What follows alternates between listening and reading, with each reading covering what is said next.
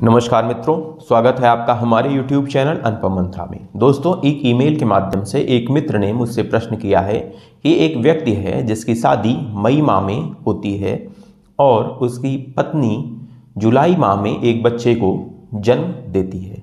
तो उस बच्चे का पिता या बाप कौन होगा? वो व्यक्ति जिससे उस स्त्री या महिला की शादी मई माह में हुई है या फिर कोई अन्य व्यक्ति?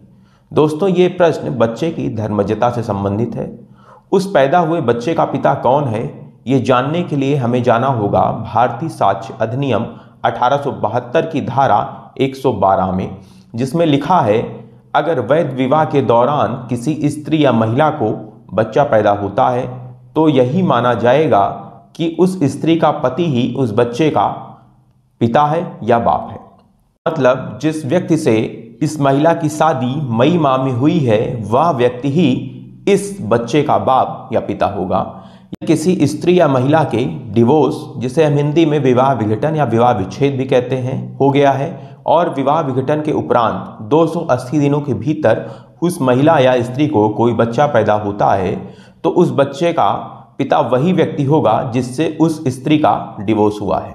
दोस्तों, साथ ही मित्रों, आप एक बात और जान लें कि यदि किसी महिला का डिवोर्स जनवरी माह में होता है या किसी भी माह में हो जाता है और उसकी दोबारा शादी किसी और व्यक्ति से होती है और उस शादी के बाद, शादी होने के बाद उस महिला को एक महीने, दो महीने, चार महीने बाद अगर कोई बच्चा पैदा होता है तो उस बच्चे का पिता वही व्यक्ति होगा जिससे अभी उसकी रिसेंट शादी दो चार पाँच महीने पहले हुई है।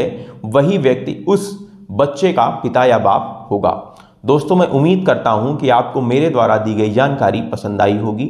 अगर आपको ऐसे ही लॉफुल जानकारी चाहिए तो आप हमारे यूट्यूब चैनल अनुपम मंत्रा को सब्सक्राइब कर सकते हैं। साथ ही साथ बेल आइकन को भी प्रेस कर लें, जिससे हमारे चैनल पर अपलोड होने वाली ऐसी लाफुल जानकारी आप तक पहुँचे सबसे पहले।